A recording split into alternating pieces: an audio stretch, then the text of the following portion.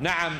أكو قرار اللي قال إنه الحلبوسي مو رئيس مجلس النواب ولكن الحلبوسي موجود وعنده كتلة سياسية وفريق السياسي موجود وسيعملون لتنفيذ وسيعملون وسيعملون لتطبيق ورقة الاتفاق السياسي التي تشكلت على أساسها السلطات في الدولة.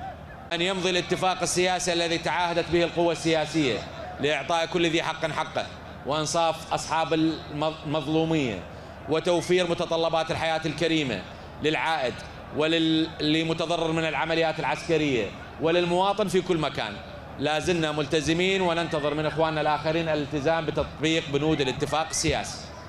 لدى الحكومة نوايا سليمة للمضي بالاتفاقات السياسية ونحتاج إلى ترجمتها بالواقع. هذا المفصل الدستوري المهم لا يقل أهمية عن اختيار أعضاء مجلس النواب. إخوان أهل صلاح الدين. في الانتخابات السابقة.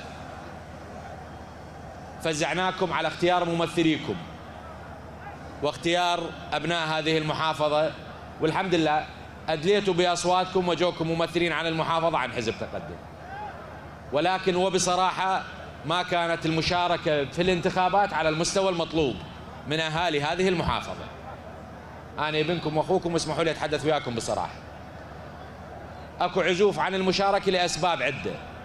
أسباب متراكمة ولها علاقة بمستوى الأداء اللي يقدمونه المسؤولين سواء أعضاء مجلس أو أعضاء مجلس نواب نحتاج إلى أشخاص قادرين على تحمل المسؤولية وخصوصا في مجلس المحافظة.